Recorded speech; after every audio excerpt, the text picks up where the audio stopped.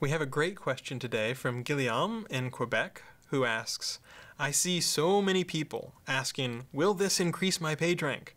Could you tell them, once again, that ranking is not just about PageRank, but also 200 different signals? And while being there, why don't you tell us about those other 200 different signals?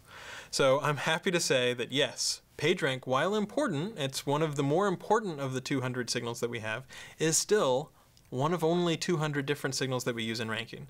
People shouldn't be backlink obsessed. They shouldn't suffer from BO, as I like to say. So PageRank does matter, but it's not the only thing that matters. As far as, you know, the other signals that are used in rankings, there's a lot of stuff that's common sense. Not just the links, but think about anchor text. And then think about the content that's on the page. There's the URL of the page, the title of the page, whether something's in a header or not. There's content on the page. There's even proximity. So if Britney is up here and Spears is down here, that's different than Britney Spears right next to each other.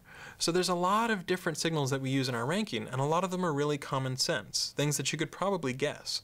The secret sauce is in the blending and exactly how we weight different signals and which ones we think really matter a lot in terms of returning high quality search results. But again, PageRank is one of only two, more than 200 different signals that we use. So please don't get obsessed with PageRank and only pay attention to PageRank. If you're thinking about whether users are going to have a good experience, whether your visitors are going to be happy, and whether they're going to want to tell their friends to come to your site or check it out, that's the mark where a website will often be very successful.